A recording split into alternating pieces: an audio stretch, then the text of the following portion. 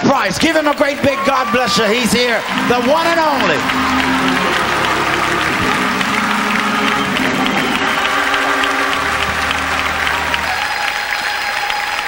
Ooh, glory. oh, thank you, thank you, thank you. I couldn't pass that up. I meant I look good for 85. You know, I wasn't bragging. I mean, I, I do look good for 85. You know, you, you hope you look this good, brother. Praise the Lord. But uh, let me say on behalf of my wife, Betty, that we certainly are privileged to be here tonight. I count it a very uh, high honor to have been asked, and I was so happy that scheduling permitted me to be a part of this conference because I've heard about it from almost its inception, and so I'm very honored to be here tonight. Now, let, let, let's, let me lay a few ground rules before we get started so that uh, we don't have any misunderstandings, okay? I am your friend, okay? I, I want no, I want you to understand that I am here as a part of the family. Okay, I'm in the body of Christ along with you. I have my assignment from the Lord, and it's different than everybody else's, just like everybody else is different than mine. We all have our little part to play and do what we're supposed to do and what we're anointed to do. And so I know that I'm going to get into some areas and say some things tonight that may sound almost antagonistic. And I only say this from previous experience. And I just was led to say this tonight. I've never done this before, what I'm doing now. But I, I didn't come to this conference to be sour grapes. I, I came here because I believe that God ordained it because I have never in all the years that I've ministered have ever asked for, looked for, went anywhere expecting to get something. I've never given anybody a card. I never tell anybody I'm in town. I never tell anybody where I'm going. I'm never looking for a place to speak. I believe if God wants me to be somewhere and say something, He'll arrange it. And I don't have to do anything. And so that's my that's my policy. So I was invited here by Carlton, and I believe that that I'm here just to add to what's already been done and what's going to be done. So I want you to relax and know that I am your friend. I'm your brother in Christ. I want you to weigh what I say in light of the Word of God. Okay? Because I'm not coming against anybody. I only have one enemy. Now, there are a lot of people that don't, they can't handle me. That's their problem. But I only have one enemy, and that's Satan. That's, that's the only person I have. Okay, plus, you know, his demon hosts. So I want you to know when I say something, don't look around to see what somebody else is thinking about it. I don't know what anybody else has said because I wasn't here last night or this morning. So it might sound different, but when the Spirit of God moves, it's not different. It just may sound different to our ear. But if we have the wisdom to really weigh it, we'll find out that ultimately it all comes together to present Jesus as the one and only. So if, if you'll receive it like that, then I know that what I'll share with you tonight will be a blessing to you. Okay? I'm not against anyone. Okay? I'm not cutting across anybody. All right? So if it sounds that way, then that means that you should take that much more time to pay attention to it because God must be saying something. Because my purpose is only to edify, to build up, and to exhort, to inform, and to fulfill my mission. Fair enough? Let's pray, and we will get on down with the word. Father, we praise you and we thank you for the privilege of gathering together in the name of Jesus. Our sincere and continuing desire is to know you more perfectly that we may serve you more faithfully. We thank you that we can call you Abba Father and that you're not ashamed to call us and own us as your very own children. We thank you for Jesus, our great Redeemer, our high priest and coming King, for all that he has done, for all that he is doing, and for all that he will do when he returns to receive us to himself. We thank you for the Holy Spirit, whom you have sent into our midst to be our teacher and to be our guide. We know that without His anointing, we can do nothing as we ought to do it. Without His inspiration and revelation, we can know nothing as we ought to know it. But we rejoice with joy unspeakable and full of glory that He is here and that He will guide us into the truth. I thank you that even now He is anointing every ear to hear and every heart to believe. And I thank you that my lips are now anointed to speak your word and that I will speak it accurately and that revelation knowledge would flow freely in this service tonight, unhindered and unchecked by any force. And Father, I personally thank you that your word declares that greater is he that is in me than he that is in the world. Therefore, with great boldness and confidence, I look to the greater one who indwells me. And I know that he will think through my mind, he will speak through my lips, and he will minister through this vessel of clay to your people. And for all that shall be revealed and for all that shall be manifested, we promise and covenant with you now in advance before we ever begin that we will give you alone all of the praise, the glory, the honor, the adoration, and all of the thanksgiving, for we ask it in Jesus' mighty and majestic name. And all who agreed with that prayer said, Amen. Amen. All right, please turn in your Bibles to Joshua chapter uno. And uno, for those of you that are uninitiated, is one in French. Okay? Unos, dos. Okay, that's, that's French. Okay? Now, I have your attention. now, as I have had the privilege to move around the country over a period of time, I have been asked the question over and over again what new thing is the Lord doing? Brother Price, what, what new thing is the Lord doing? Now remember, remember my preliminary remarks. Keep everything in context now, okay? And um, I, I would say, well, I don't believe that God is doing anything new. Because, see, if God is doing something new, then that would mean something's wrong with the old. And there can't be anything wrong with what God does because if there is, then that makes him imperfect. And if he's imperfect, we got a big problem. You, we still friends? Okay.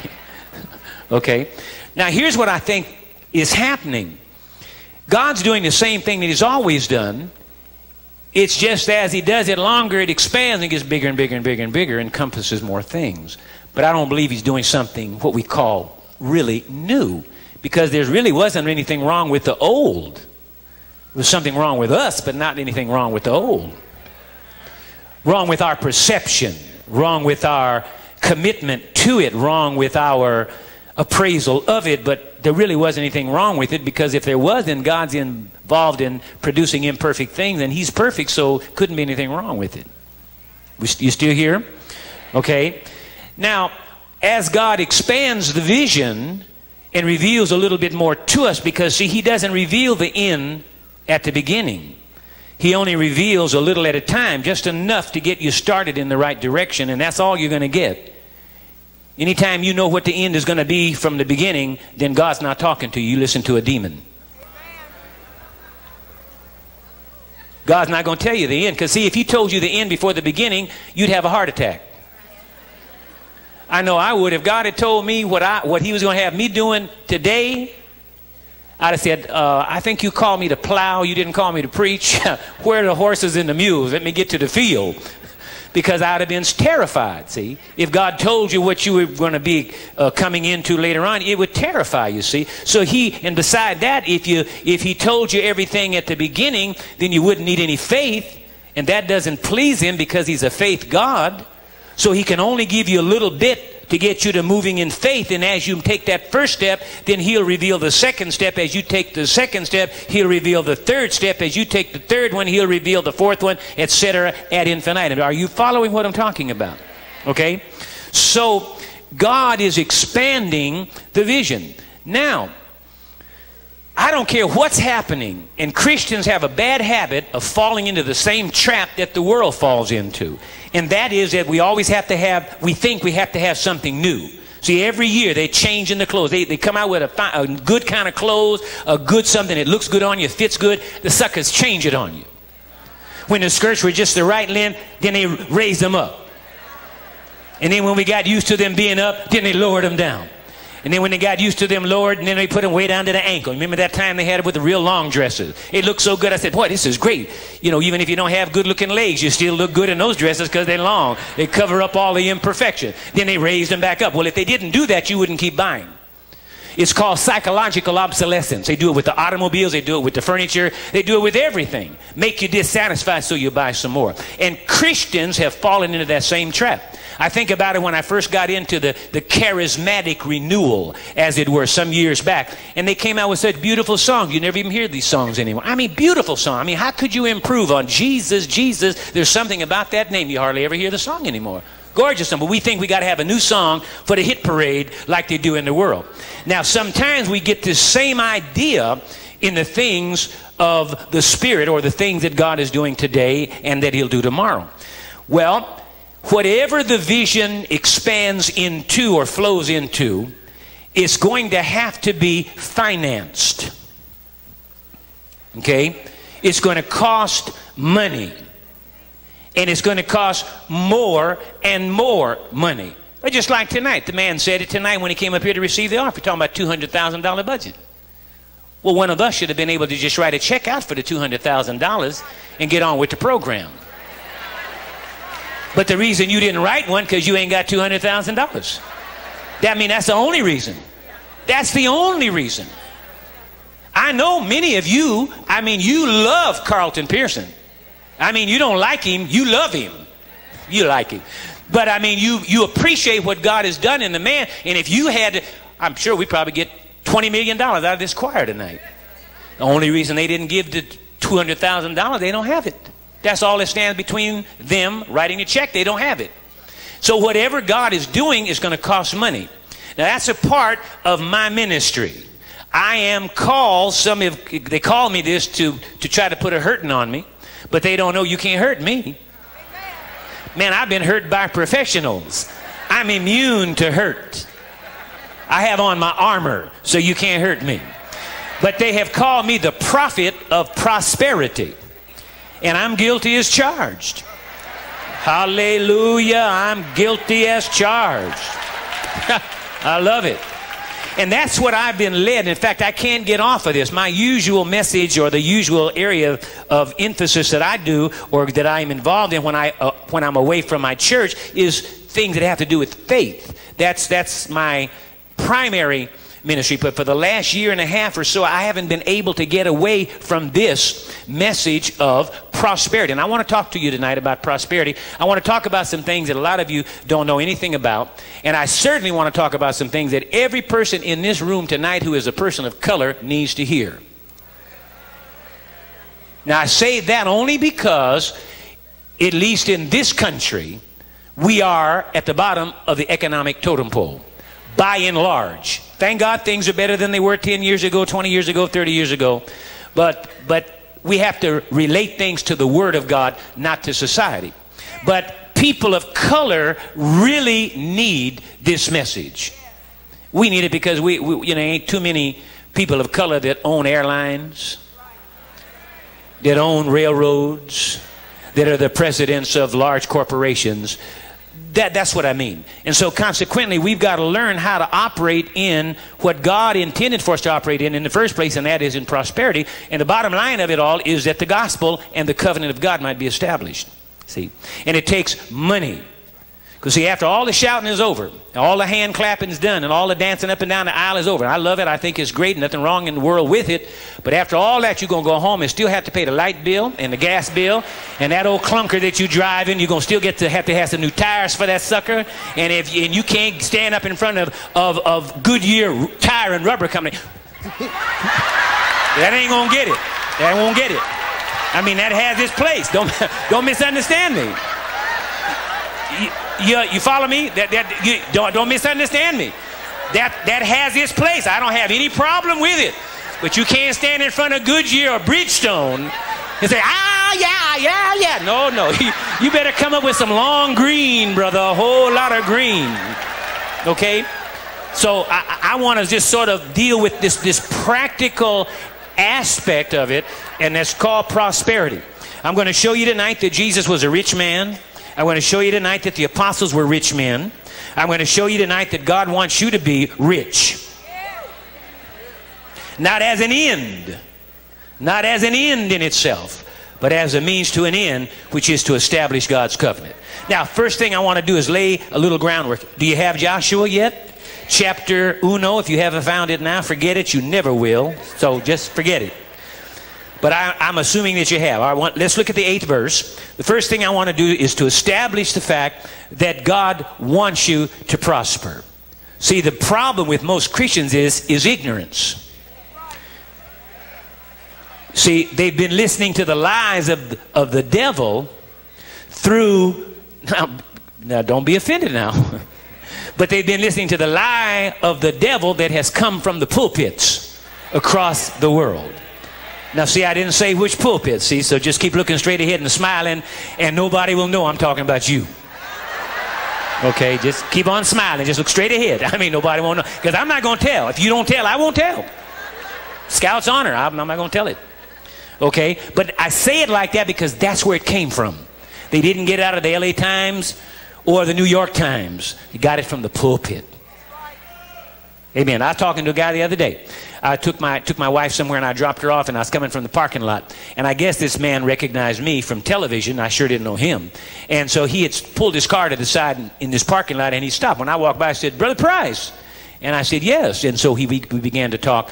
And boy, he got real serious. I mean, he, really, he got real serious. And, and he said, you know, uh, I've never met you before. I've seen you on TV a few times, but I, I, I've really heard some well, I don't guess you, you probably don't want to hear this anyway. I said, man, go ahead and say it. You know, we may, I might learn something. Don't be, don't be concerned. He said, well, I, have heard some, well, you know, it's like gossip and, and, and, and it's really, it's really bad, Brother Price. He was really serious. He looked at me like he was a baby Christian. He was real serious about this. And he said, You know, I, I heard that you drive a Rolls Royce. I mean, he was really serious about this. And I said, Man, don't let that bother you. I do.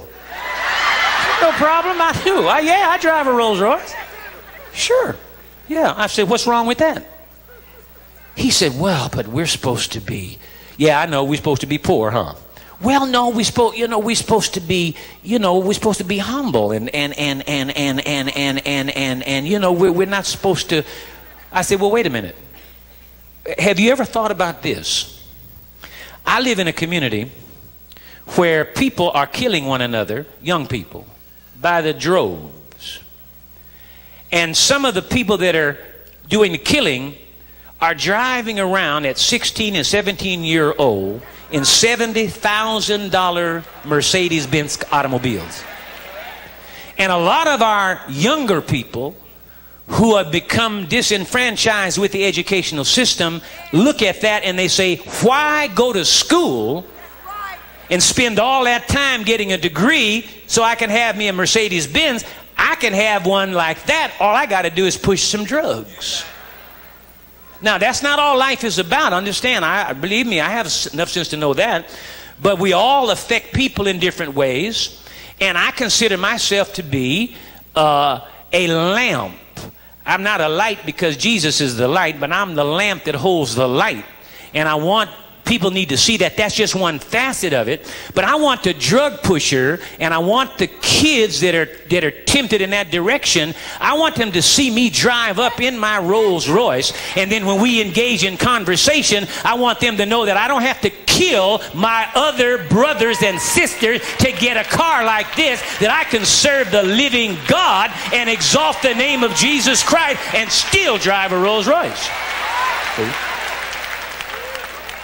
now, that might not be your calling, so keep on driving your Ford and be happy about it, but don't get upset about me driving my Rolls because I asked my father for it and he gave it to me. Okay? So don't don't knock it, but but but and he said, oh, oh, oh, oh I, I never thought about that. I know you never thought about a whole lot of things, and I started rapping on him, and I gave him the word on prosperity. And uh, when he when I got through with him, he said, "Well, praise God, praise God, bless God, brother. It's good to see you." See, and uh, all because of ignorance. See, we've listened to the devil's lie that that God has created all these wonderful things for the pimps and the pushers and the whores and the drug pushers and the drug dealers. But Christians, we should be more humble and drive around in chariots.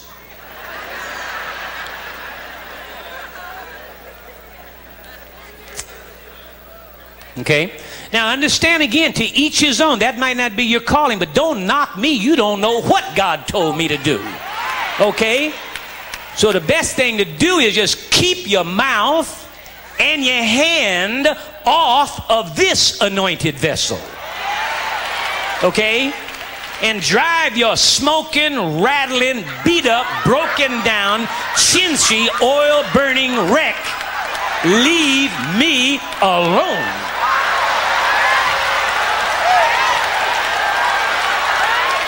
Mm, yeah. Yes, leave me alone. Oh, yeah. Mm, oh, where am I now? Here. Oh, yeah. Praise God. Hallelujah. Praise the Lord. Uh huh. Uh huh. Uh huh. Uh huh. Okay. I, I have your attention now. All right, that just that's just preliminary. Now let's look at the word. Let's look at the word. Then I'll balance all of this out with the word of God. All right, that that this is my calling. Is my anointing. I have to stand before God and give an account for the stewardship of my ministry. Draw from it what you can. Whatever you can't, put it on the shelf. You're going to need it later on. Because you see, as we move further on into things that God is doing, it's going to cost us increasingly more and more and more money to get the job done. And somebody's going to have to foot the bill. I have been sending letters on a regular basis to the Godfather, but for some strange reason, he never answers my letters. I've asked him for donation. Now, see, people get upset when I say, My God, I wouldn't say anything as sacrilegious as that. The Godfather? Yeah. Yeah, but that money, they got that money from drugs. So, what do you think you got the money you just drew out from the bank? Where do you think that came from? How do you know where that came from? Money is neutral. Money is not bad. Money is neutral. It's what you do with it that makes the difference. Yeah, if the Godfather sent donations, right, absolutely. Here's the greatest miracle in the world. We got the devil working for the kingdom of God. That's great, man. Talking about, don't knock that. Sure. But the children of God are going to have to finance God's program. See? And where is it going to come from? It's going to come from the people of God. Well, they can't give what they don't have. 12 years ago, I started out in television. The Lord told me to go on TV, and He told me exactly what to do. And that's, you know, He said, don't sing, don't, don't have any choirs, don't do it. Just teach what I taught you. That's all He wanted me to do is teach. And so that's what I've done for 12 years. We started off in one station, the first station that we went on. And uh, 12 years ago, 13 years ago, that station cost to, to produce a program, to produce a program, put it in the can, buy the airtime, put it on air, cost me $4,000. 4000 bucks an hour. It's $4,000 an hour. I've been on that station for 13 years. 14. My resource. That's why I bring my wife with me. And uh, 14 years. And so 14 years later, I'm on the same station. Hey, they didn't give us no more, no more minutes in the hour. Same, same amount of time. That station now costs me $30,000 an hour. And we're on 141 stations. We're talking about mega bucks. Man, they don't have that many chickens in captivity to sacrifice to pay for that kind of stuff. And they don't have enough ribs to barbecue to handle $30,000 an hour, and that's just one station, and we got 139 more behind. That's why when the brethren get on TV and whine and cry and beg and shed tears and beg, don't get on their case, because if you don't know how to operate by faith and by the principles of the Word of God, you got to cry often and loud, because it don't take but one week, and you bankrupt. Can you imagine missing the payments on 141 stations at $30,000 an hour per station? One week, you out of business, bro. you can forget it. You in bad, they'll bury you and put you in debtor's prison for the rest of your life. But think about it. Think about it. A man of color 14 years on television, never, ever, one single time, ever missed making a payment. Not once. Never been behind one time. Not once in 14 years. Paid every bill 30 days in advance. 14 years. All by these principles that I'm going to share with you in a few minutes. Amen. Hallelujah. You find Joshua yet?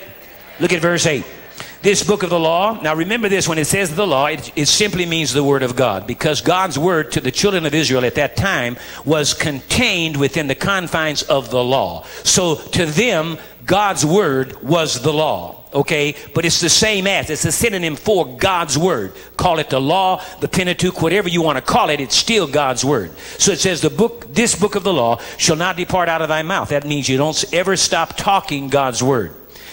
But thou shalt meditate therein day and night, that thou mayest observe to do, that thou mayest observe to do, that thou mayest observe to do according to all that is written therein. For then, for then, for then thou shalt make thy way prosperous. Now I want to stop right there because the church has very gravely erred in this situation. I've heard people say well, the Lord is going to do this, and the Lord is going to do that, and God is going to bless me, and God is going to do this, that, and the other. Now, I want you to take it in the, in the context that I'm giving it in, add it to what you've heard, because this is not coming against anything or anybody. It's an expansion on. I want you to see another level of it. I want you to see another facet. A diamond has many sides to it. It's one diamond, but many facets. They all reflect the light in a different way. Okay? But now listen to this. He says, For then thou shalt make thy way prosperous. I submit to you tonight that your prosperity is your fault.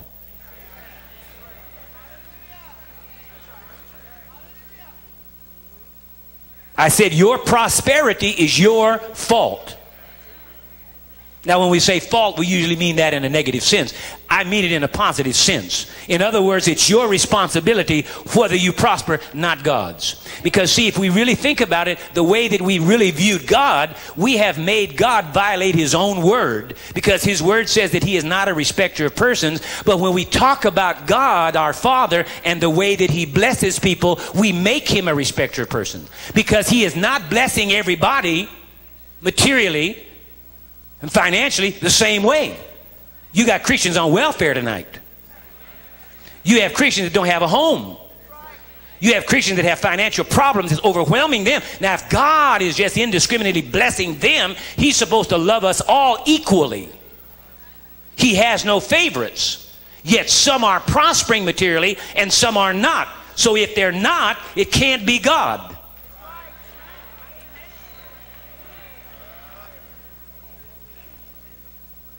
See, I used to think it was God until I got clued into the word and I found out it wasn't God. It's not up to God whether I prosper, it's up to me whether I prosper. If I fail, it's up to me. It's my fault, not God. He's already provided everything that we need. You have never in your life ever seen a hundred dollar bill come down from heaven, from heaven to this earth. All the wealth that you need or will ever need or that any ministry will ever need to do the job that God called you to do is already in this earth realm. Not one dollar, not one thousand dollar bill, not one checkbook, nothing has fallen out of the sky. It's already here. It's already here. But it's just in the hands of the wrong people. Because Satan is the God of this world, and he has very cleverly pooled the resources of the world into the hands of a few people to keep it out of the hands of the children of God, and they don't have enough sense to understand that, to know how to go forth and bring it back into the kingdom of God so that the covenant of God can be established. There is no shortage of wealth.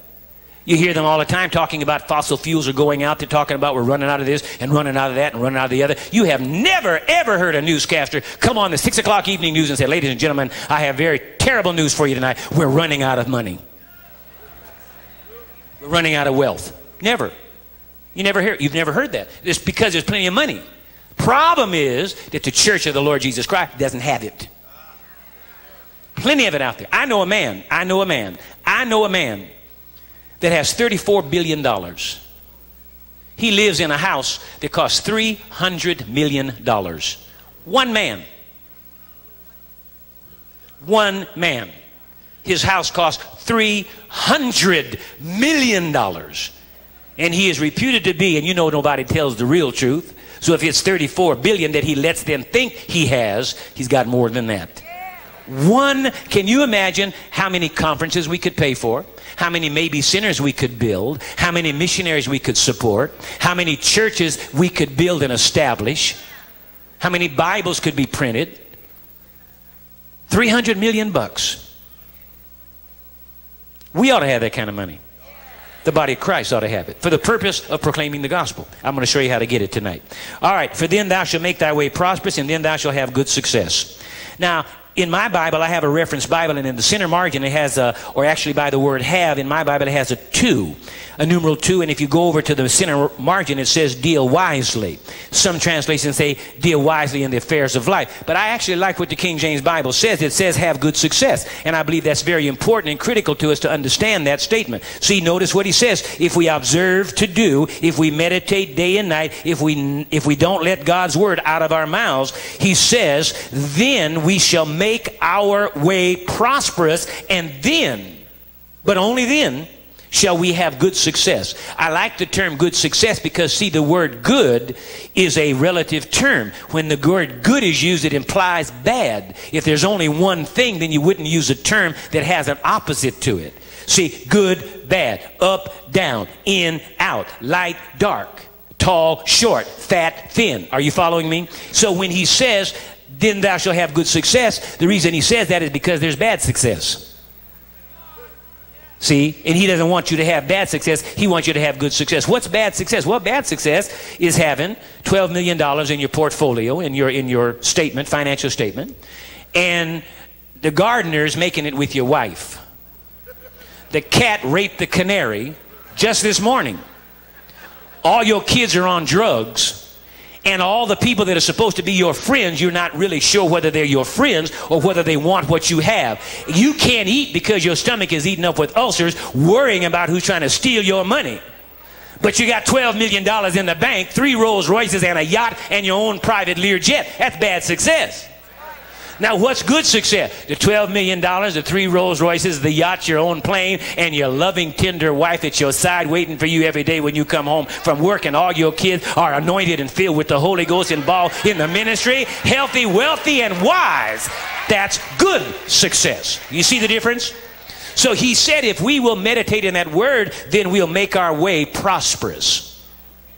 See, we will do it. Not God will, we will because the resources are already here. God doesn't have to give you anything, it's already here. All you've got to do is go get it. But you can't go get it if you don't know you're supposed to and if you don't know how. All right, look at Psalm 1. The first psalm. Very familiar, but there's an area here I want you to see. Psalm 1. Oh my goodness, I can see I'm already off target. But the Holy Ghost do what he be wanting to do. So we just be following him because. All right, Psalm 1, verse 1. Blessed is the man that walketh not in the counsel of the ungodly, nor standeth in the way of sinners, nor sitteth in the seat of the scornful. But his, but his delight is in the law or the word of the Lord. and in his law doth he meditate day and night. Oh, there's that day and night again and he shall be like a tree planted by the rivers of water, that bringeth forth his fruit in his season. His leaf also shall not wither, and whatsoever he doeth shall fail. What? What? Why are you whispering? Oh, okay. So whatsoever he doeth shall prosper. That means his home, his marriage, his business, raising of his children, his ministry, shall prosper. God is the author of prosperity. I, I run into preachers all the time all over the country, whining and crying and belly aching. Now, see, understand where. Remember my preliminary remarks. Now, don't, don't get you know, don't get bent out of shape. I'm your friend. I'm trying to help you. This is just my my method. Everybody does something different. I can't sing like this lady, and I can't dance like Carlton. Everybody's got their gift of God. You do what you can do. See what I mean? This is my way. This is the way God uses me. So don't be offended by it. I don't know you personally. Not interested in trying to put a hurting on you. Trying to help you to get free. But I hear ministers all the time crying and whining. I want to punch him in the mouth. In love. Oh, in love. But, but I want to punch him in the mouth. I want to tell him, well, why don't you do what God says do? And especially when they're white. Now, don't be offended now, please. Now, especially when they're white, because see, if you don't make it in America white, you're not saved. You're definitely not called. In fact, you're not even alive. You got to be dead. Because after all, this is, this is the white man's country, and God is white. And the Holy Ghost is white. Ain't they? Well, yeah, God is white. It's got to be white.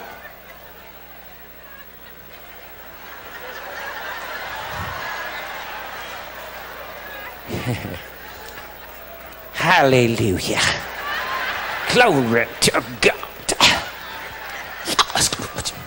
All right, and he shall be like a tree planted. See, I tell him, look, look, man, I'm look at me. Do you see a difference in my complexion and yours? Now you know. Now you know since God is white, if he's going to bless anybody, he's going to bless white ministry. But look what we're doing in the ghetto. We we we not in the suburbs. We be in the in the ghetto. It ain't it, it's not supposed to happen in the ghetto. Not in the ghetto, not in Los Angeles. In the ghetto. We we in the ghetto. We we be suntan complexion. And and and and we built we, we built a 12 million dollar sanctuary and didn't one chicken die to pay for it.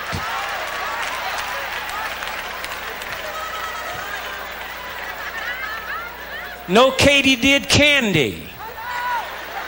Mm. We didn't have one pew rally. Yeah, and we didn't have a pastor's aid club to help me out. Mm, yeah. Yeah. We didn't have a men's day. Didn't have a women's day. Didn't have a usher's day. We just took God at his word.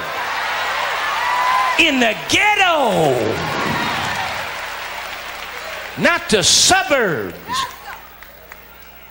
And, and, and then on top of that, the, the, the ground on which the $12 million sanctuary sits that's paid for, the ground, that's 32 acres right in the heart of the ghetto.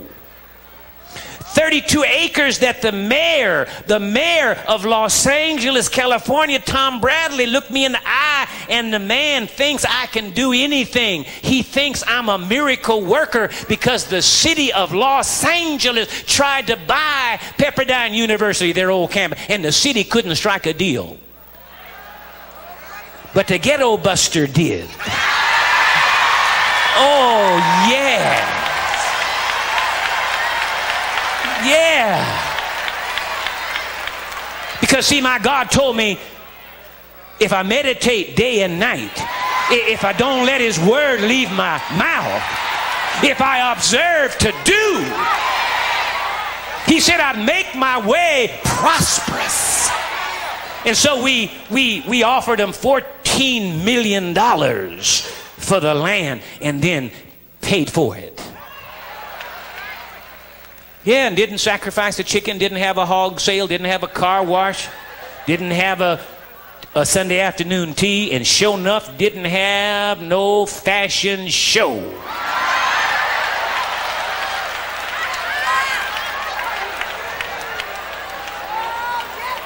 In the ghetto,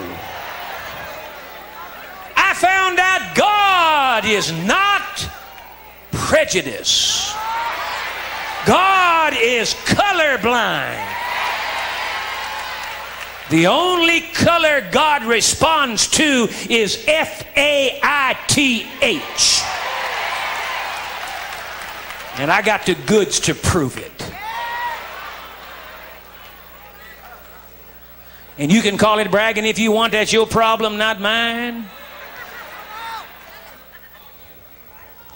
All right, do you, you, have it now? And he should be like a tree planted by the rivers of water that bringeth forth his fruit in his season. His leaf also shall not wither, and whatsoever you do, it shall prosper. Everything you do should prosper. If you're not prospering in everything you do, then there's a problem with you, not with God. And you can't blame it on the white folks, the Russians, the flying saucers, you can't blame it on anybody, the drug pushers and all. You can't blame it on anybody but the person that you see in the mirror when you go in the bathroom and lock the door and there ain't nobody else in the room but you. That's the one you got to point the finger at. You are the problem. Not even the devil can stop you. See, notice this verse. Did you notice that in this third verse, Satan's name is not mentioned? He hasn't anything to do with anything except but what you let him have to do with. He said, If you'll do what I say here, he said, Whatever you do shall prosper. Now look at the 37th or 35th Psalm. Here's one that some of you have never seen. This will blow your boat right out of the water. But I want to establish the fact that God wants you to prosper. See, in order to prosper, you have to change your way of thinking about money. And Christians are hung up. See, they're hung up about material things. I run into them all the time. And, and they want to they wanna get on my case, and I want to punch them in the mouth with the Word of God. I want to cram it right down there. They'll say, Why don't you read the book, brother, sister? Instead of getting upset about me, why don't you read the book? See, they know I'm right. That's why they get on my case. Because if I wasn't right, why would you waste any time? What, what, I, what I say wouldn't matter. It doesn't change what God's going to do. See what I mean? So why get upset? They get upset because deep down inside they know they're right. Have you, have you as pastors ever had anybody come and ask you this question?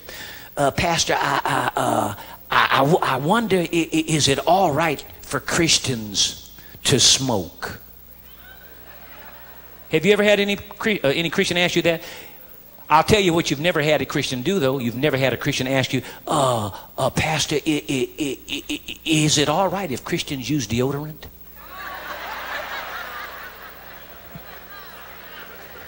No, you, you, you didn't get the point. See, they know that's right to do.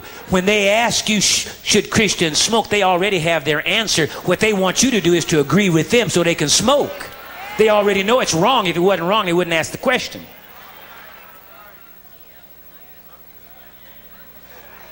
Well, well, well, well. Mm, yes. Are you getting the message? See, you, you did this, Carlton. I don't usually do this. I got in your presence, man, and like the man said, the anointing just got all over. Mm.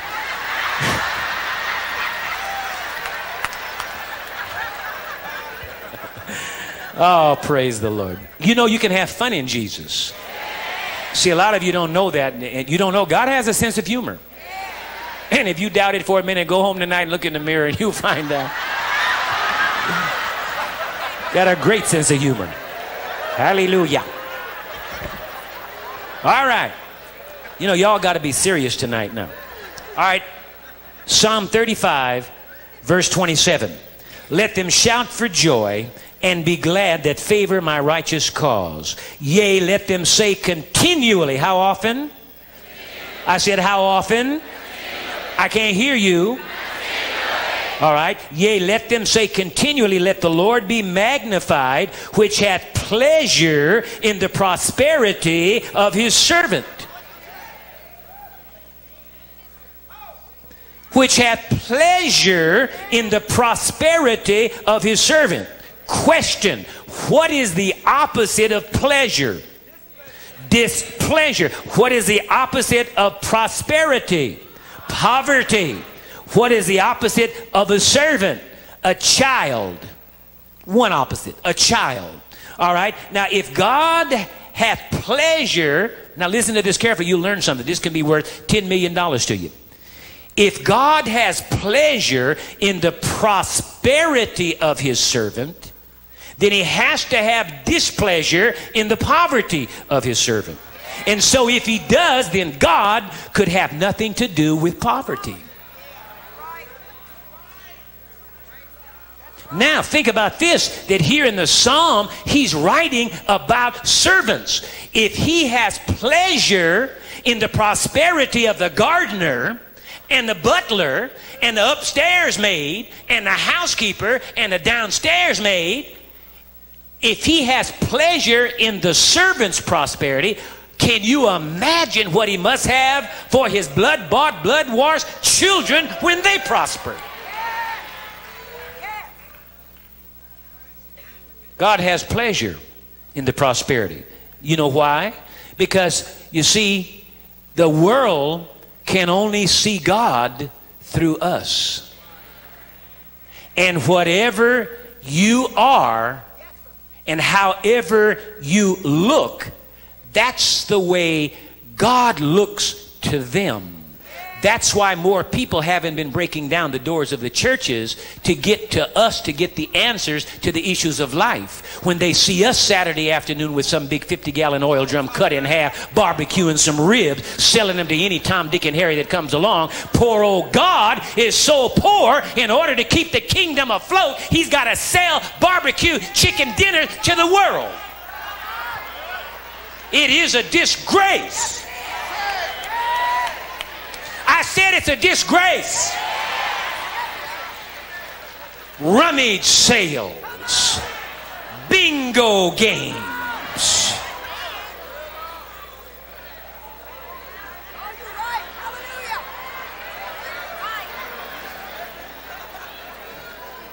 Hey, guess what? And ain't no point you rolling your little old pea peeking eyes at me because I'll come right out there and slap you upside your head.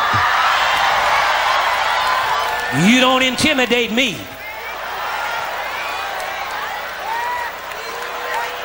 Well, all right. Now listen, listen. You see, you have to change your mind about Jesus and the apostles, or you'll never be able to operate in prosperity. That's why Christians stay down and that's why the church has been limited in what God can do through it because of the finances. And it, as I say, it's costing us more and more and more and more and more and more and more to proclaim the gospel. It costs more and more and more. Somebody's got to foot the bill. God's not here to do it. He can only do it through the body of Christ and to the extent that they have the resources to put into the kingdom. Are you following me? So we've got to get our hands on it because it's out there. Are you following me? But this is why people have a problem with, with tithing, and it's why they have a problem with, with overweight. This is one of the areas where the Lord uses me. People get mad at me, you know. And man, you know, I don't, you know, guess what? You know what? If, brother, if you weighed 795 pounds, I think you would be considered by most people as slightly overweight. But think about it. If he did weigh that much, what's that to me? Nothing. Ain't hurting nothing I'm doing. If he weighs 750 pounds, so what do I care? I, as long as I don't have to buy his clothes and feed this sucker. Are you following me? So people ought to have enough sense to realize why, you know, I don't go out getting on folks because they're overweight. I don't care whether you're overweight. The only person I care about being overweight is my wife. And I got something to say about that. Mm. Well, hmm. yeah, right?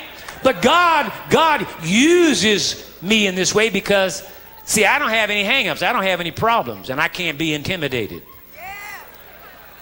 See, some ministers they couldn't dare talk about things like this, and that's why that's why you got churches full of fat folk. I mean, when I say fat, I mean overweight people that are killing themselves and digging their own graves with their mouths.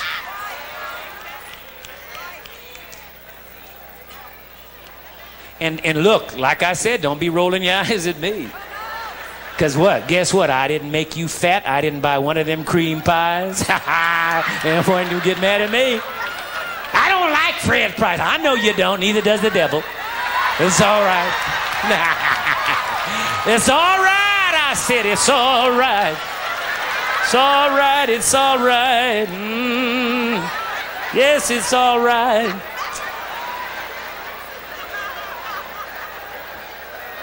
But here's what I'm talking about. Now, it may sound a little comical, but there's great truth in what I'm trying to get across to you here relative to finances. And I want you to get this relative to prosperity. See, that's why people have problem with overweight and dieting. That's why they have problems with fasting. I mean, uh, with uh, tithing because they haven't changed their minds. You've got to change your mind about money if you're going to ever fast, I mean, ever tithe successfully. And you're going to have to change your mind about food if you're going to ever lose weight and keep it off. See, the easiest thing in the world is to lose weight. All you got to do is stop eating. It's guaranteed. You stop eating, you're going to lose weight. You stop eating long enough, you're going to lose more weight. You're not going to have any weight problem. You just stop eating because that's what makes weight is eat.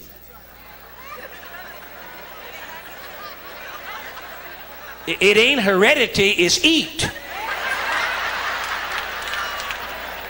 It's real simple. It's eat. Eat makes fat. It's impossible. You never see people starve to death at 375 pounds. When they starve, they're skin and bones. And we see them late night television all the time with flies buzzing all over, trying to get us to send some money to feed them. And they're skin and bones, their little swollen bellies. You stop eating, you lose weight. But you can go on, and some of you know this is the truth. You've gone on diets and you've actually legitimately lost the weight, and then the weight came right back. More came right back. And, all, and it's real simple. You never change your mind about food. And until you change your mind about food, you'll always gain the weight back. There's no way to keep it off. People have problem with tithing. They're always in a problem with tithing. That's because you've got to change your mind about money. See, you say you make $100 a week. If you're going to tithe, you don't make $100 a week. You only make $90 a week, and you can only obligate yourself financially for $90. If you do that, you'll never steal from God, and you'll never take his tithe. But if you keep thinking $100, I make $100, then you're going to obligate yourself financially to the $100 and you're going to end up stealing from God.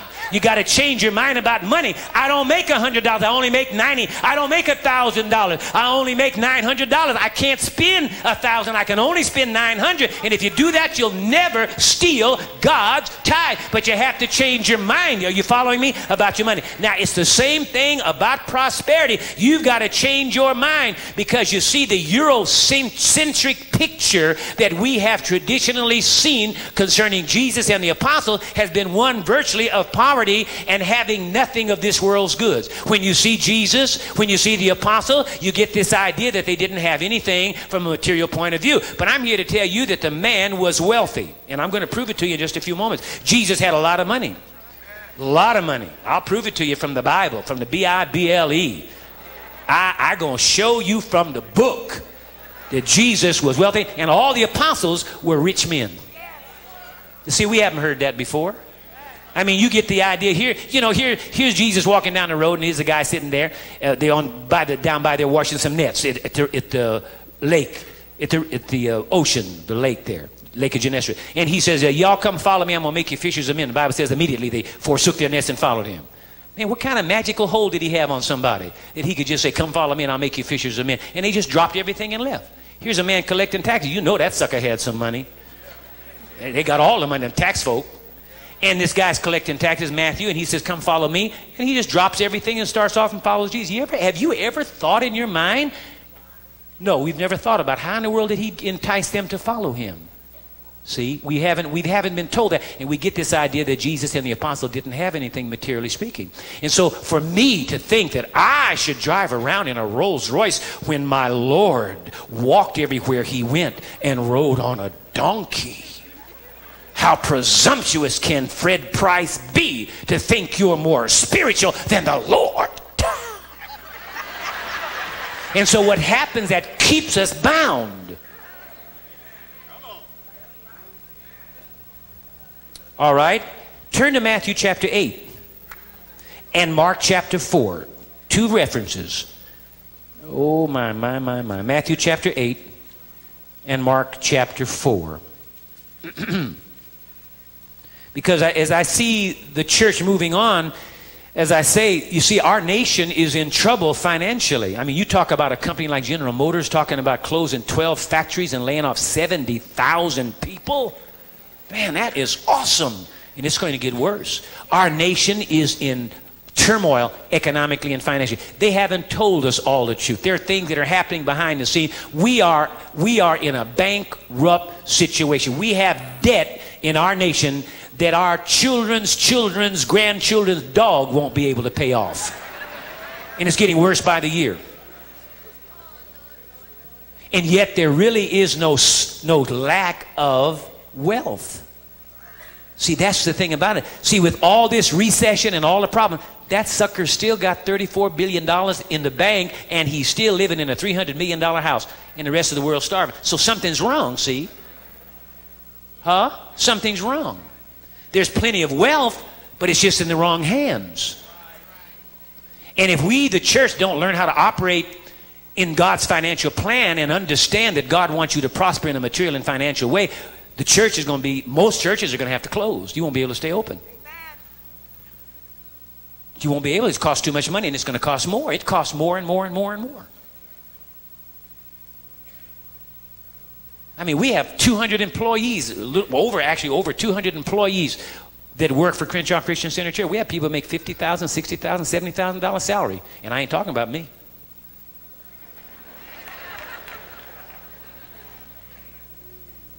And it, it costs more and more because it costs them the same amount of money to buy a gallon of gas as it does for Donald Trump to buy a gallon of gas. Mm, probably costs them more because he got all kind of insights and inroads, and he probably oil, owns one of the oil company, got his own gas station. But it's going to cost us more and more money. I mean, Carlton, think about it. How long have you been in the ministry? You know, preaching, let's say, on a full-time basis. 15 years.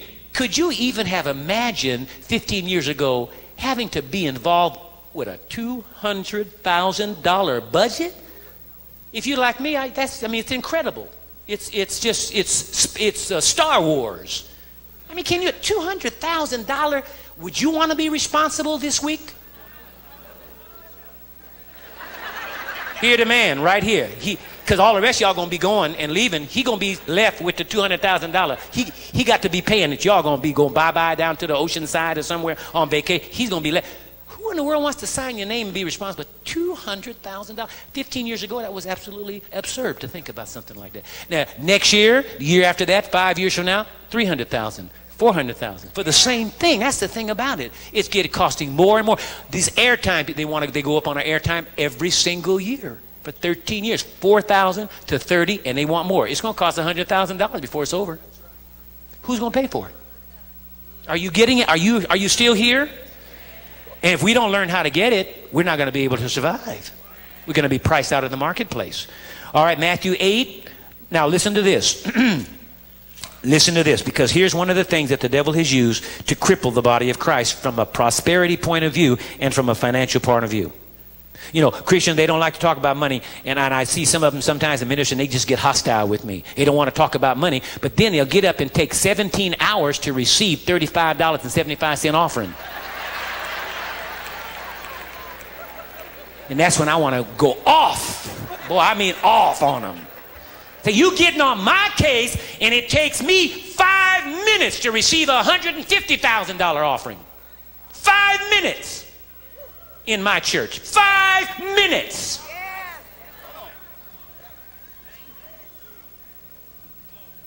Five.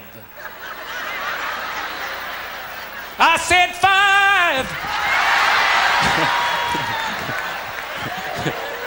But you, you, you criticizing me and on my case, and you the one taking three hours to raise thirty-seven fifty, and I get hundred and fifty thousand dollars in five minutes.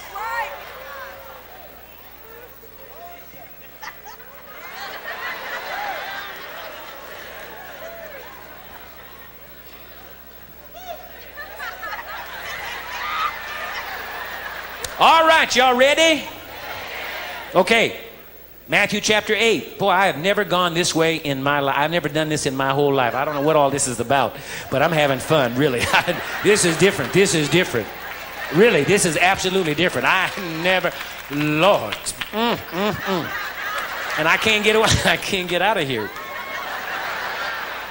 Mm, it's y'all's fault. You, you guys started it. When I came in here tonight, y'all was, you, you guys started. I'm going to blame you guys. All right, listen to this now. Matthew chapter 8, verse 20.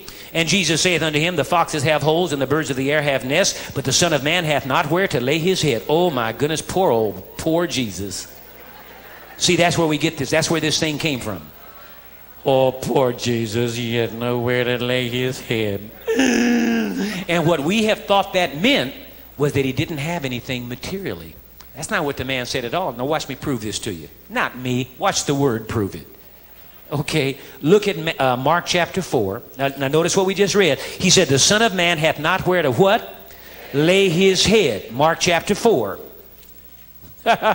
Mark chapter 4, verse 35. And the same day, when the even was come, he saith unto them, Let us pass over unto the other side. And when they had sent away the multitude, they took him even as he was in the ship. And there were also with him other little ships. And there arose a great storm of wind, and the waves beat into the ship, so that it was now full. And he was in the hinder part of the ship, asleep on a pillow. I thought he had nowhere to lay his head.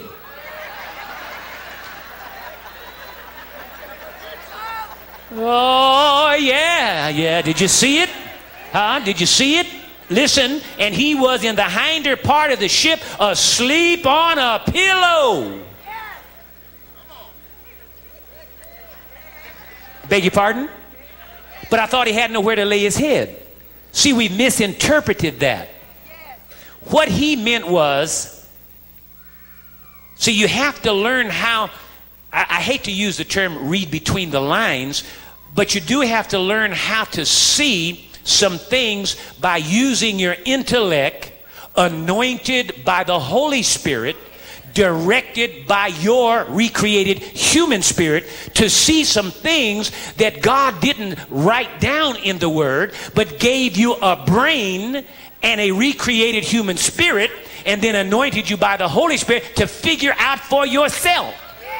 You see, if you read the Bible, it would be a totally inaccurate picture of history of man on the earth. And the reason that it is is because it's not a history of man on the earth. The Bible is his story, history, his story about God redeeming man. That's all it's in the book is redemption.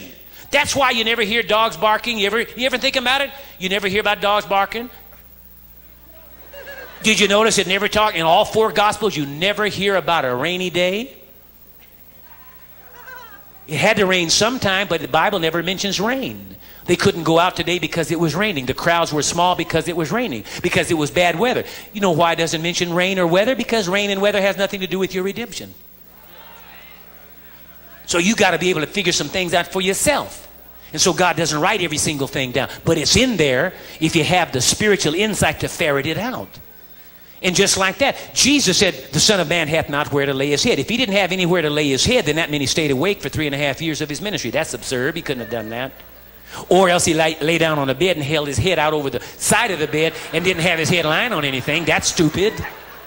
But you think about it, you know, when it says the Son of Man had nowhere to lay his head, what do you picture? You picture a man who didn't have anything materially. That's not what he meant. He meant, hey, I'm here on an assignment. I'm only here for three and a half years. Ain't no point in me taking a ranch or a townhouse or a country estate. No point in me getting married and having children and have to leave a wife with five kids and no father. I'm only going to be here for three and a half years. That was his purpose. He could have had anything he wanted. He had plenty of money, and I'm going to show you that in just a few moments. But when he said he had nowhere to lay his head, the book just got through saying the man was asleep on a pillow. What, normally, pillows, what do you do? I never put pillows under my feet per se. I know there's situations where you, because of elevation and so forth, but ordinarily, pillows are for your head. Yes. Well, he said he had nowhere to lay his head, and yet the book said he's asleep on a pillow. The Bible contradicted itself then. No, it was the point when he said the Son of Man had nowhere to lay his head. He simply meant, I'm not taking up residence here because I'm not going to be here on a permanent basis. I'm only here for a little while. Now, if you're willing to handle that and deal with that and travel with me, then let's get it on. That's all he was talking about. He had somewhere to lay his head. Okay? Now look at 1 Timothy chapter 6. I got to move real fast because my time is just about out. Okay. So I'm just going to give you some, some, some, some highlights here. Hope it'll stimulate you into just doing a little more thinking. Okay? Now, here in 1 Timothy chapter 6, 1 Timothy chapter 6, verse 17, Paul speaks to Timothy and says, Charge them that are what? Rich where?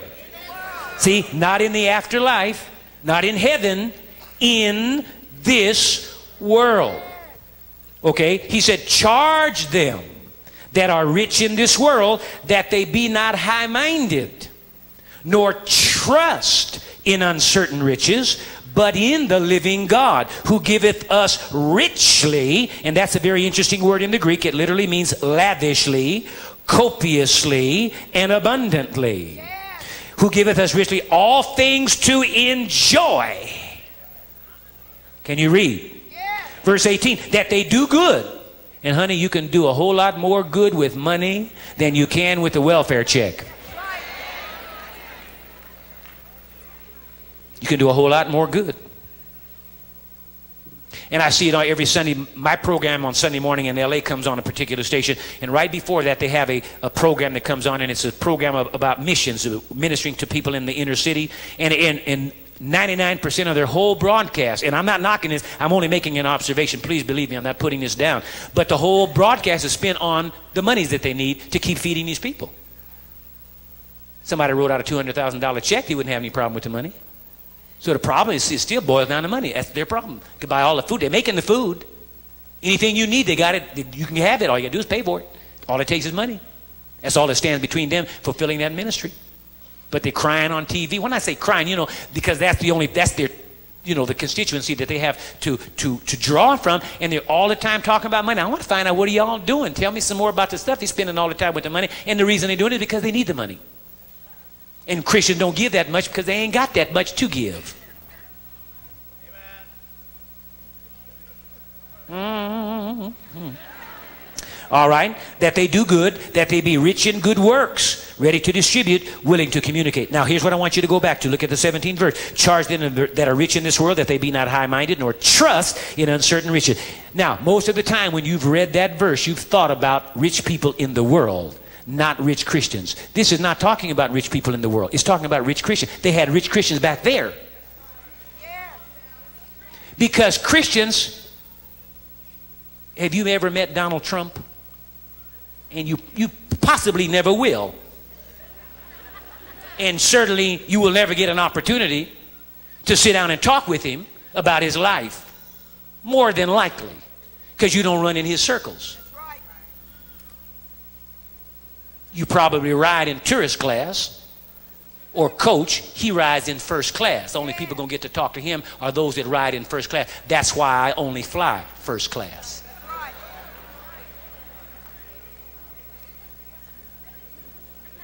They don't even let you come up from coach in tourist class into first class.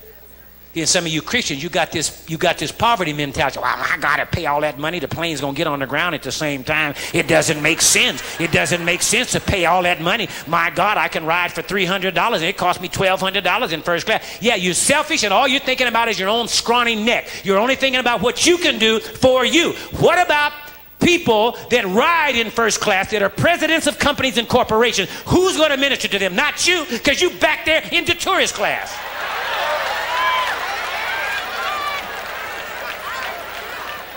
But see, you don't care about the rest of the world. You think that Christ died for Christians. You don't think Christ died for every man. You don't believe that God so loved the world because if God so loved the world, then that means God loves people like Donald Trump and other people that are multimillionaire and some of the movie stars that make 10 and 15 million dollars per movie. How are you going to witness to them and talk to them right in tourist class? And you're never going to meet them at the Rolls Royce dealership when they bring their car in for repair because you're driving a Ford. And you don't take a Ford to the Rolls Royce dealership to get it fixed. And they ain't going to bring their Rolls Royce into the Ford dealership, so you are never going to talk to them about Jesus. Well, then who's going to reach them? I know, let them go to hell, right?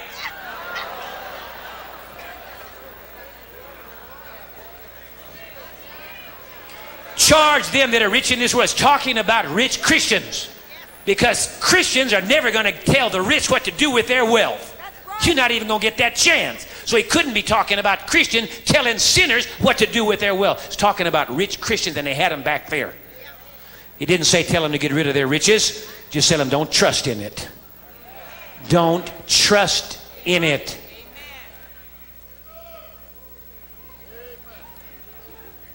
All right? Now, let's move on quickly because I'm way out of time here. I'll be finishing about another hour. No, I'll be finishing in a few moments. But I just want to give you a little highlight. I can see right now I can't make it. I can't make this. But let me give you a couple of highlight things, just enough to stimulate your thinking. Turn to Mark chapter 1. Turn to Mark chapter 1. just enough to just to get you to thinking about this.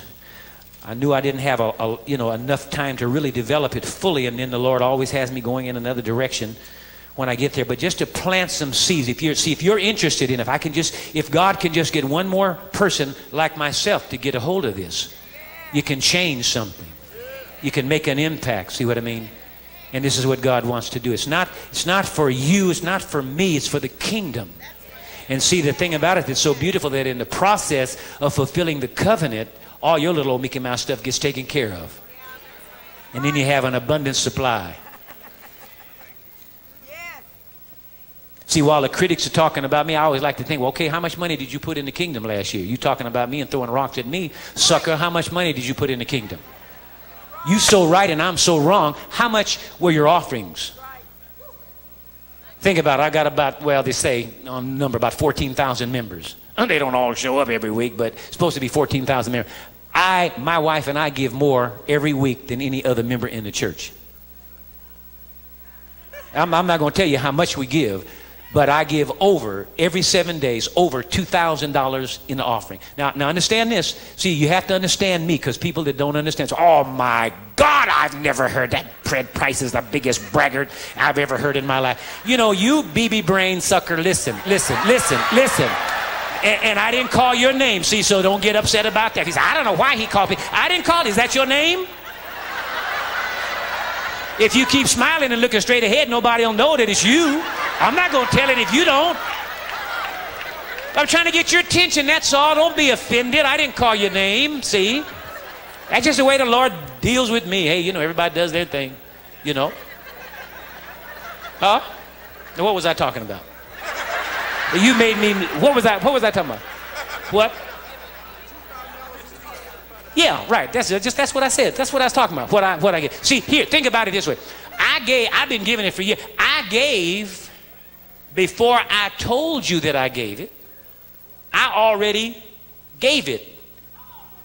Given it.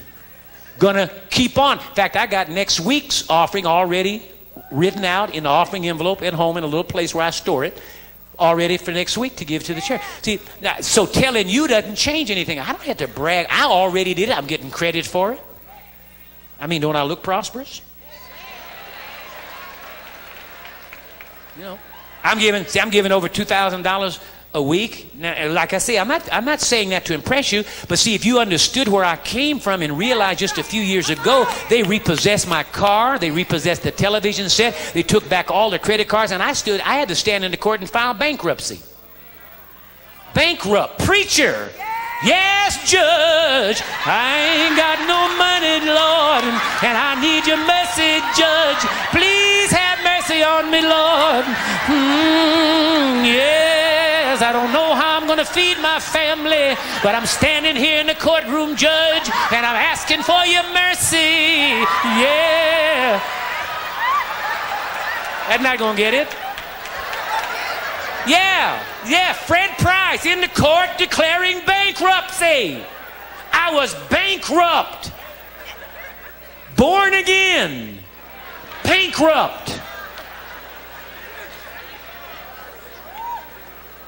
And now today, see, the only reason I'm saying it is for the contrast between the two. God, the Bible says, God never changes. Now, how did I go from bankruptcy to the biggest giver among 14,000 members? Can you see it? How did that occur? God can't change. So he didn't change. Oh, but I did. I got a hold of the word. I found out how to plant seed. I found out how to operate in God's financial plan. I found out that God wanted me to prosper. And I found out that when I prospered, then that part of the kingdom that I influenced also prospered.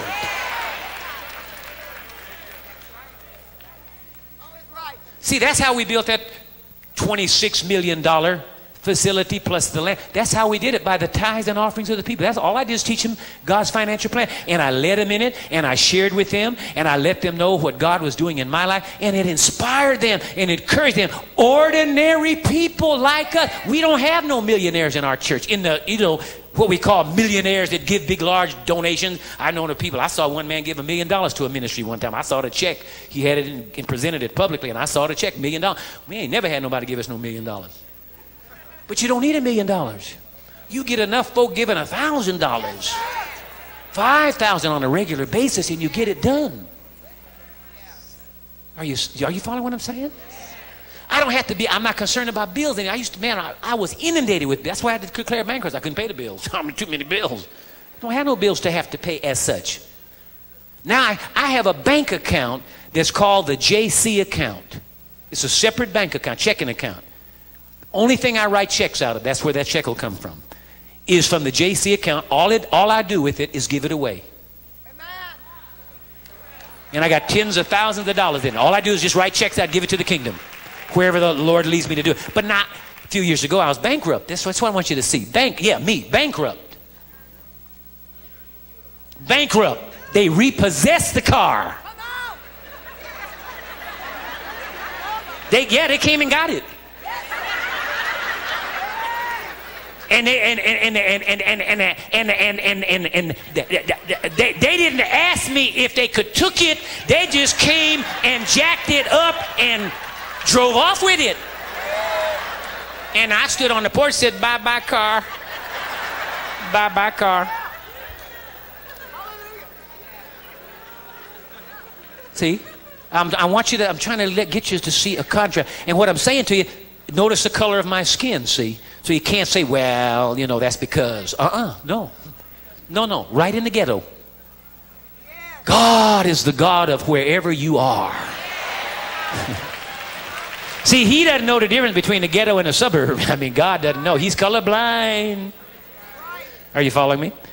All right, did you find Mark chapter 1? If not, you will never find it. Now, I want you to listen to this very carefully. Verse 16. Now, as he walked by the Sea of Galilee, he saw Simon and Andrew, his brother, casting a net into the sea, for they were fishers.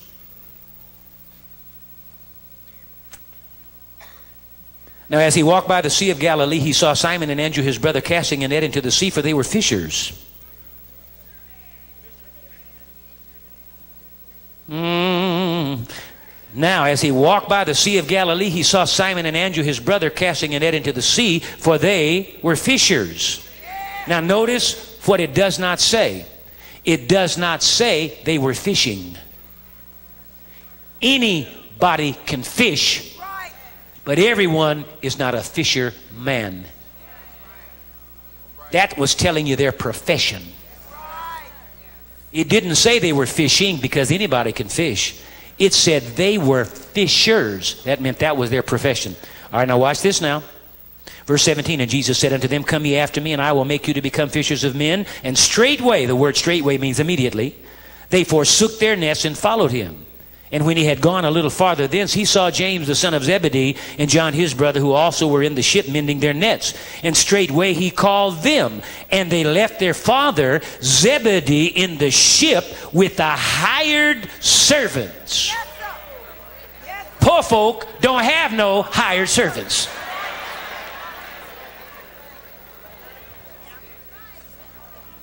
Said they left their father Zebedee in the ship with not the hired servant singular, but with the hired servants with an S on the end, which is plural, meaning it had to be at least two. Hired servants. Poor folk don't have no hired servants. How many folk you got working for you? Hired Honey, you, you're not doing bad when you can hire folk to work for you and pay them a living wage and have enough left over for yourself. That's not poor person. That's not a poor person. Now I got two more. I, am gonna. I just have to cut across. Oh my Lord, so much, so much, so much, so much, so much. Uh, oh my, my, my, my. Um. Mm. Okay, uh, let me see. Oh, I gotta get this in. I gotta get this in. Um, okay, t- uh, turn to Mark chapter, Mark chapter uh, 10. Now, while you're doing that, let me show you something. Again, this is where you have to use the wisdom of God to ferret out the truth. You see, you see the apostles were rich men.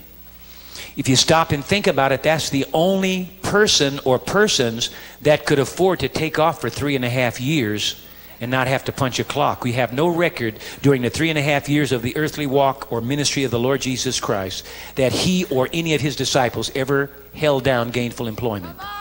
So then, how did they pay their taxes? How did they buy clothing? How did they buy food? And how did they have shelter? For three and a half years, we have no record that they ever worked.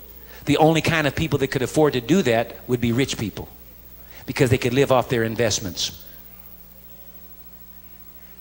Well, if you don't think that's true, is there anybody here in the choir you're closest to me? Is there anybody here in the choir that has a 40 hour week job?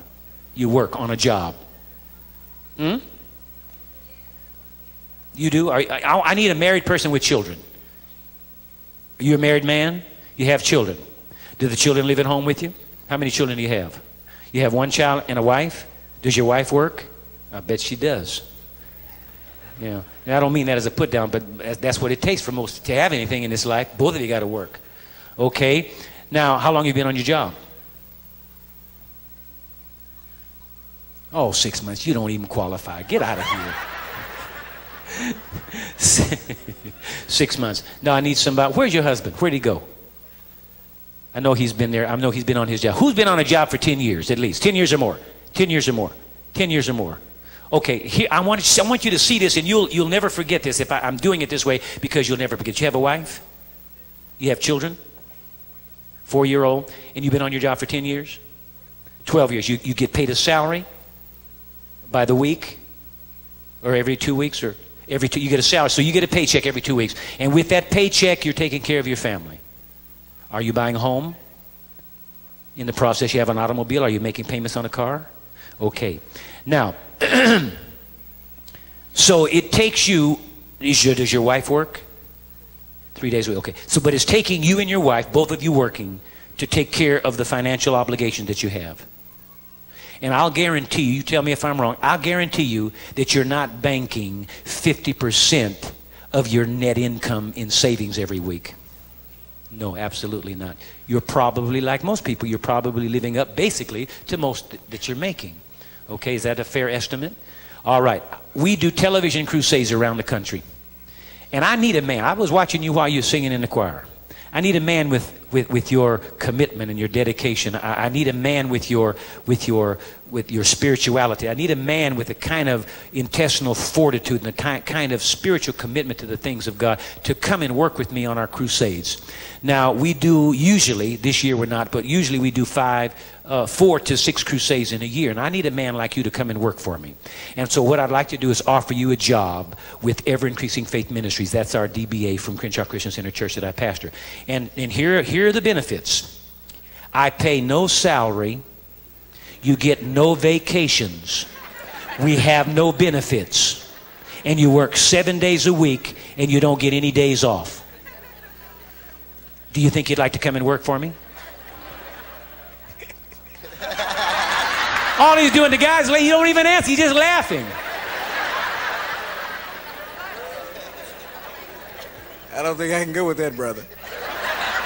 Now, that sounded a little comical, but here's the, here's the atomic bomb truth I want you to get out of that. See, we have this Eurocentric idea about Jesus and the apostles, and because the Bible doesn't give us a blow by blow account. It doesn't tell us every single thing. You've got to do some studying, some meditation, and let the Spirit of God move upon your heart to give you revelation.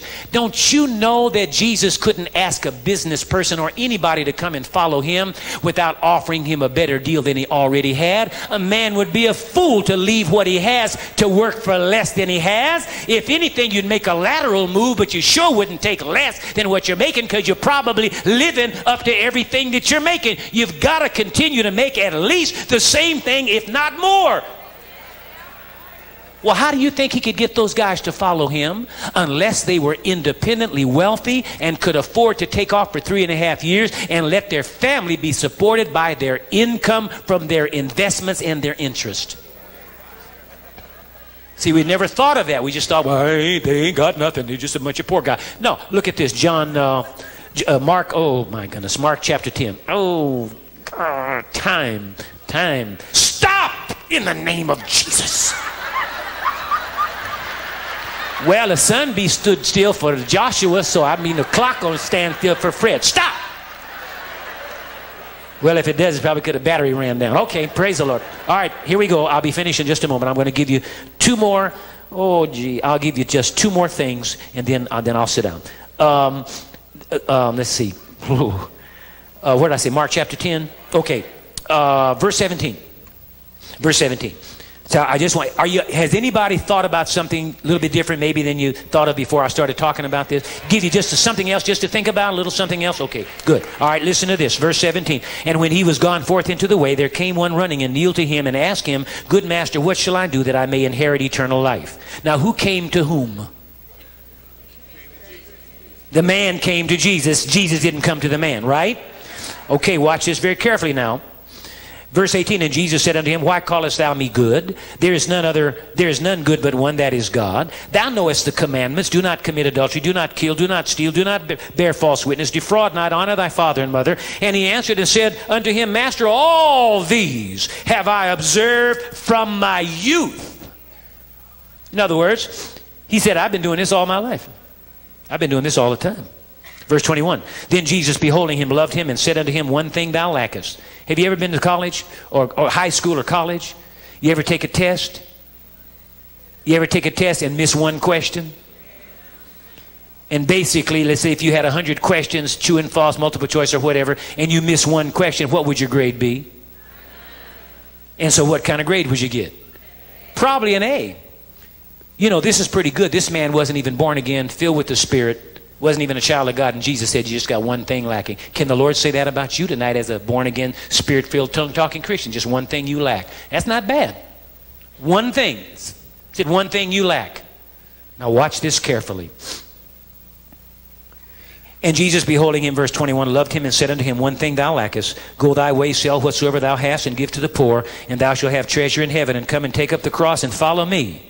Now, a lot of people, commentators, have gotten the wrong idea here and thought that what Jesus wanted was the man to be poor. But let's stop for just a moment and prove to you very uh, critically from the Word of God that could not have been the case at all. Why do you think Jesus told a man to keep the commandments? Because God Almighty had told the children of Israel, when you go into the promised land, if you will keep my word and do what I tell you to do, that I am the Lord who gives you power to get wealth that I may establish my covenant. But they had to keep his word, which were, for them, the commandments. Now, this man said, Oh, I've done that all my life.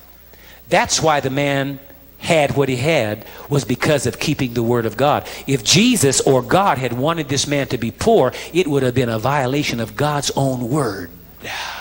Because what God would have been saying to the people of Israel, I lied to you. You can keep my commandment, but you're not going to prosper because I don't want you to prosper. Uh-uh. That's why he pointed out about keeping the commandments. And the guy said, I've done this for all my, from my youth up. And that's the reason why we get to verse 22. And the Bible says, and he was sad at that saying and went away grieved for he had, or because he had great possessions. That's how he got the possessions by keeping the word of God. It would have been impossible for God to have wanted the man to be poor because he would have violated his word. That's how the man got it, by keeping the word of God. Now, undoubtedly, the commentators here or the writers of the Bible misquoted this because it's not true. What's written there is absolutely not true. It, it, it, it, said he went away grieved for he had great possession. That's not true at all. The reason the man went away grieved was because great possessions had him.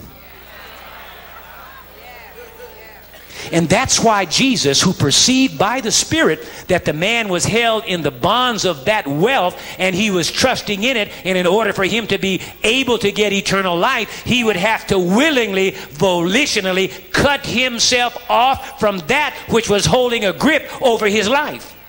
Jesus didn't want him poor, but Jesus had to separate him from that which was holding him in bondage, which was the God of mammon, his wealth. And to show you how much of a hold it had on him, he could not give it up, not even for eternal life. Great possessions had him. He didn't have anything because if he had it, he could have given it up. But the possessions had him. You say, I have a smoking habit. I've been trying to quit smoking for five years. You don't have a smoking habit. The cigarettes have you, fool. If you had them, you could give them up. The very fact that you can't give them up attests to the fact that you're not in control. They're controlling you. A little white thing with tobacco stuff down it that's never been to college and can't even read or talk or write got you, a college graduate, climbing the wall at midnight trying to find another cigarette. No, the cigarettes have you. You don't have a drinking problem. The drink has you. Because if you had it, you could let it go. But the reason you can't let it go is because it has you. And until you are willing to give it up, you'll never be free. And we could go on ad infinitum. All right, follow along, verse 22. And he was sad at that saying and went away grieved, for he had great possession. Now get ready, hold on to your seats. Verse 23 And Jesus looked around about and saith unto his disciples, How hardly shall they that have riches enter into the kingdom of God? Brother Price, you must be wrong. Jesus said a rich man can't get in the kingdom. Oh, no, that's not what it said. He said, How hardly shall they that have riches enter into the kingdom of God? And his disciples were astonished at his word. Now, why in the world would poor folk be astonished at the fact that the rich folk couldn't get in the kingdom? If anything, they would be whooping, hollering, glad, and saying, Woo, it's about time. There's something that the rich folk can't get. We can get it, but the rich can't get in the kingdom. Why would they be astonished? Because the rich folk couldn't get in. Why would that astonish them? The only way it would astonish them is if they were rich. You know why? Because rich folk know that ordinarily, if you're rich enough, you can buy whatever you want. You can buy people and sell them. You can have them murdered or you can have them to keep their life. You can have something, if they don't make it, you can commission it to be made if you have enough money.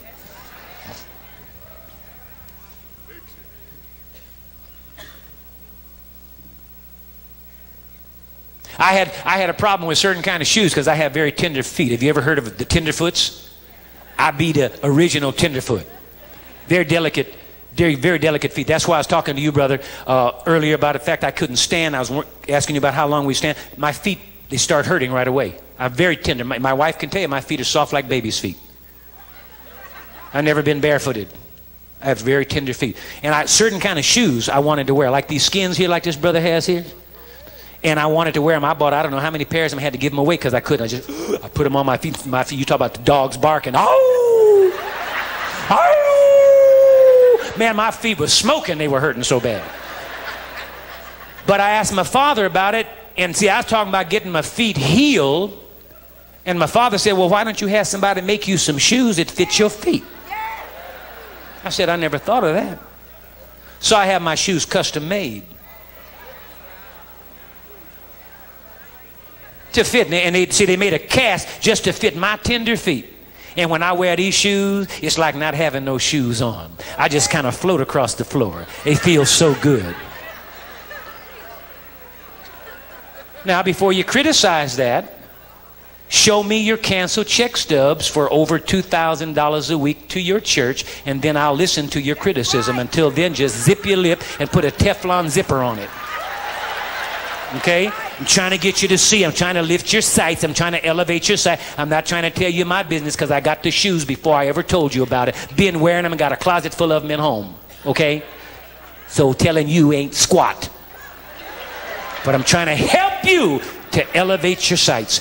I got you got a living witness in front of you what God can do. We're just talking now about the the material realm. You're going to hear about the supernatural and the supernatural, the miracle working power of God and all that kind of stuff. That's great and wonderful, but you need to live in this every single day. Every single day. You got to face the bills coming in every single day. You get a miracle for you now and then. Okay? All right, listen, listen, listen. And the disciples were astonished. Now, now follow this because this is really, this is great. And the disciples were astonished at his word. But Jesus answering, answereth again and saith unto them, Children, how hard is it for them that trust, say trust. trust. That's the problem. That's the challenge. To trust in riches. It's hard for them that trust in riches to enter into the kingdom. It is easier for a camel to go through the eye of a needle than for a rich man to enter into the kingdom of God. And they were astonished out of measure. Look at verse 26. And they were astonished out of measure, saying among themselves, Who then can be saved? If the rich can't get saved, who's going to get saved? Are you joking? It doesn't say they were astonished this time. It says they were astonished out of measure. Now, why would poor people be astonished out of measure about the fact that the rich couldn't get in the kingdom? What astonished them is that they were rich. And they said, man, well, who going to get saved? I mean, if rich folk can't live up on the hill, who's going to live on the hill? I mean, if rich folk can't eat the best of the land, who's going to eat it? Are you following? They, they said, what, what, what, what, See, now Jesus, see, a lot of people get hung up on the camel business. Now, there's some that say that there, was a, there, were these big gates that opened up into the wall cities, and then on the side they had a little smaller gate that they call the Eye of the Needle. I don't know. I wasn't there. Neither were you. But the issue is, what's the real problem about getting a camel? Well, let's go on and I'll show you what I'm talking about. Blah, blah, blah, uh, verse 27 and jesus looking upon them saith with men it is impossible but not with god for with god all things are possible and so if all things are possible then it's possible to get a camel through the eye of a needle. If you can't get a camel through the eye of the needle then all things are not possible only some things with the exception of getting a camel through the eye of a needle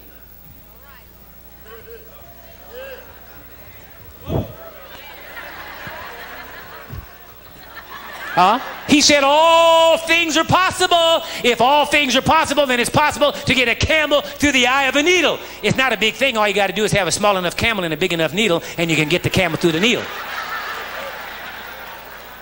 Now, when I say that, people laugh. They think I'm trying to be funny. Have you ever heard of Goliath? They say he's about nine feet tall. He had to wear clothes back there. You didn't go to Hart Schaffner's and Marx and buy a suit or C&R clothiers like we have in California or some other place like that. The mother made the clothes. Can you imagine the little kind of sewing needle that you're talking about and thinking about is the kind of needle you got to squint up your good eye to try to see that sucker to get to, to get the thread through it. See, that's the kind of needle you're thinking about. But they had big needles that they made and used for tents, making tents, all kinds of things. You have a larger needle. All you got to do is have a small enough camel, big enough needle. It has to be possible because Jesus said it was. Now, quickly, he says then, now look at verse 28. Then Peter began to say unto him, Lo, lo, lo, we have left all and have followed thee. All of what? What are poor folks going to leave? we have left all. All of what? What you, what you left? What you what? You left all. All of what? Poor folk don't have nothing to leave but a welfare check. Are you seeing anything? He, said, Lo, we have left all. All of what? All of what? I'll, I'll, be finishing in just a moment. I got one other, one other thing I want to show you, and then I'll, I'll, I'll quit. Please, give me that little time. You're going to love this. Okay? And Jesus said, Verily I say unto you, there is no man that hath left house. Now, wait a minute. Wait a minute it would be totally irrelevant and immaterial for him to say to people who had not left these things that people that had left them would have something. It would have no relevance to them whatsoever. But he said here very clearly, and Jesus answered and said, Verily I say unto you, there is no man that hath left house, or brother, or sister, or father, or mother, or wife, or children, or lands for my sake in the gospel, but he shall receive an hundredfold now in this time houses, and brethren, and sisters, and mother, and children, and lands with persecutions, and in the world to come eternal life. They had left these things. That's why Jesus said that to them. It would only have relevancy to them because they were the ones that answered the question by saying, Lo, we have left all. And he said, There's no man that hath left house, so they must have left house. Otherwise, it would have no relevancy to them. Are you seeing anything? Now, one last scripture, I'm closing. I promise you, one last scripture. Turn to John quickly, and then we'll. And I'll, I'll um, Carlton, please forgive me. I wouldn't just deliberately. I just feel that I got. I have to share this and it's going to bless the people. If they get, get this truth, get it in their spirits, you won't even have to do them. Get up and say, look, we're going to receive our offering tonight. We need $400,000. Thank you. Thank you, Lord. We believe we received. Pass the buckets five minutes, you'll have $500,000. That's the way it works when you get tuned into this. I'm not knocking anything else that's gone on before. I'm just simply pointing us to higher ground. That's all I'm trying to get you to see. Just higher ground. I'm not knocking anything that's been done. Please believe me. God forbid I wouldn't do it. I want to point you to higher ground. Lord, lift me up and let me stand by faith on heaven's tableland, a higher plane than I have found. Lord, plant my feet on higher ground. Are you following me? Okay, that's all I'm trying to get to. Higher ground. All right, quickly, John chapter 13, and I'm out of here. Uh, oh, my, my, my, my, my. I want you to see this. I told you that Jesus was wealthy, and I'm going to prove it to you. When I say prove it, I'm going to give you some scripture that will help you to at least, you know, think that I'm not completely off my rocker when you hear this. Now, um, oh, my, my, my, my, my. Um. Okay, uh, verse 18. Speak, he said, I speak not of you all. I know who I have chosen, whom I have chosen, but that the scripture may be fulfilled. He that eateth bread with me hath lifted up his heel against me. Now I tell you before it come to pass that, or uh, before it come, that when it is come to pass, you may believe that I am He. Verily, verily, I say unto you, He that receiveth whomsoever I send receiveth me, and he that receiveth me receiveth him that sent me. When Jesus had thus said, he was troubled in spirit and testified and said, Verily, verily, I say unto you that one of you shall betray me. Then the disciples looked one on another, doubting of whom he spake. Now there was leaning on Jesus' bosom one of his disciples whom Jesus loved. Simon Peter therefore beckoned to him that he should ask who it should be of whom he spake. He then lying on Jesus' breast saith unto him, Lord, who is it? Jesus answered, He it is to whom I shall give a sop when I have dipped it. And when he had dipped the sop, he gave it to Judas Iscariot, the son of Simon. And after the sop Satan entered into him, then said Jesus unto him, That thou doest, do it quickly, or do quickly. Now watch carefully. Now no man at the table knew for what intent he spake this unto them, unto him, for some of them thought, because Judas had the bag, that Jesus had said unto him, Buy those things, so that means that had to be a money bag. Ah, it had to be a money bag because it said buy, buy those things, buy, say buy. But B-U-Y, not B-Y, buy. Okay, listen. Uh, for some of them thought because Judas had the bag that Jesus had said unto him, buy those things that we have need, have need of against the feast, or that he should give something to the poor. Now, why would they think that? Why would that thought come to their mind? Why, why would that, you know, why would they think that he said go buy something for the feast or to give to the poor? Why, I mean, why would that thought come to their mind? It's customary. They didn't think he said go out and buy some snakes. They didn't think he said go out and, and, and invest it in the bank. He said go buy, go buy the stuff we have need of against the feast or go give something to the poor. The man, the man was given away to the poor all the time. Here's a poor man giving away to the poor. Now, here's my final argument, Your Honor. Jury, here's my final argument. I don't know if you've ever thought about this. Jesus, from what we can gather from the four Gospels, never worked on a job. He picked 12 men to follow him, and one of them was a thief. He was stealing out of that bag. See, the bag was the treasury. You know what a treasury is for? What? What's, what's a treasury for? What do you have a treasury for? No. See? You missed it. Why you, what's a treasury for? Come on, don't be afraid. I'm not trying to, it's not a trick question. I'm trying to get you involved. What is a treasury for? It's not for money. No. A treasury is not for money. What's a treasury for?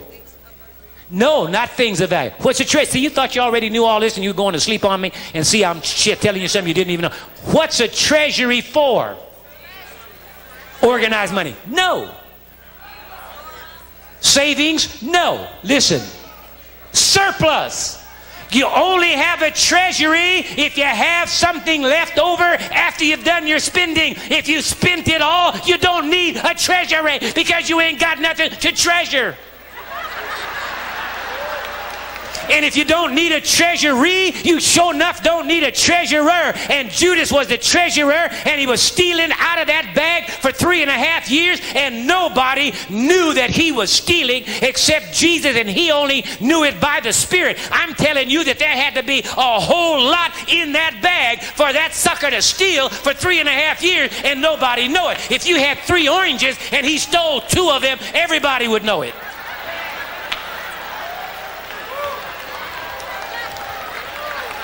Oh, say amen. Can you see it? He was the treasurer. You don't have a treasury if you ain't got nothing to treasure. Just like some of you don't have a savings account because you ain't got nothing to save. You living off everything you got. There were some years ago that I didn't have a checking account. Wasn't no point in having a checking account. I had nothing to check. You don't need a checking account. You ain't got nothing to check. And you don't need a treasury unless you have surplus. Because if you're spending it all, what do you need a bag for? And what do you need a bag man for? And Judas was the bag man, and he was stealing out of that bag. Think about this too, and I'm, I'm finished. Jesus was one man, and he had 12. You say you got how many kids? One. And you had how many kids? How would you like for me to bring you 12 more kids tomorrow for you to take care of? To house them, bed them down, educate them, feed them, clothe them. 12 more. Could you handle it right now? No, it would bankrupt you and your wife. And neither could you. But here's a man who took care of himself plus 12. That was a staff of 12 plus 1, 13 people. He provided for them solely alone. They never worked, and they had a treasury with so much money in it that he was giving away to the poor so often and so regularly that when the man went out to do something, right away they said, Oh, he probably said, Go give something else to the poor. So he must have been pretty wealthy to be able to take care of himself plus 12 more. That's 13 people that he was he had to transport, house, clothes, pay taxes for, buy new sandals for, feed them every day for three and a half years, and have money in the bank and have a rat, a thief stealing out of it for three and a half years, and nobody know it. That's not a poor man. God wants you to prosper.